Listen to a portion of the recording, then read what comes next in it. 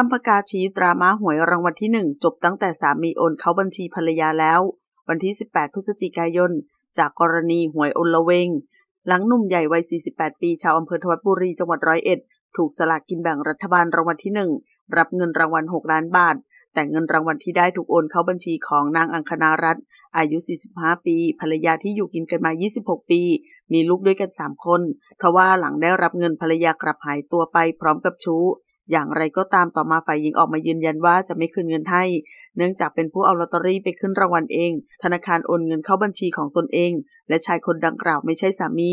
ล่าสุดอันภูวนาถและแขกคำปากาได้มาพูดคุยถึงประเด็นดังกล่าวในรายการ ข่าวจบคนไม่จบ ผ่านช่องทางข่าวสดออนไลน์ ถ้าลอตเตอรี่ใบนี้ไม่ถูกมันก็ไม่มีเรื่อง แต่พอมันถูกตนคิดว่ามันจบตั้งแต่ที่เงินโอนเข้าบัญชีภรรยาแล้ว ต่อให้คุณมีลูกด้วยกันสามคน แต่คุณไม่ได้จดทะเบียนสมรส ดังนั้นเงินจากรางวัลที่หนึ่งมันก็ต้องเป็นของเจ้าของบัญชี ไม่เกี่ยวกับว่าข้อเท็จจริงมันเป็นอย่างไร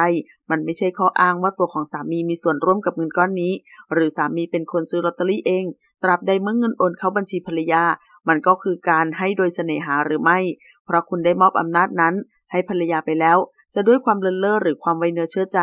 ก็คือพลาดไปแล้ว สิ่งเดียวที่ควรทำก็คือ ให้ลูกไปคุยกับเมีย ให้แบ่งเงินกันให้ลงตัว นี่คือวิธีที่ดีที่สุด ขอขอบคุณข้อมูลจากข่าวสดขอบคุณค่ะ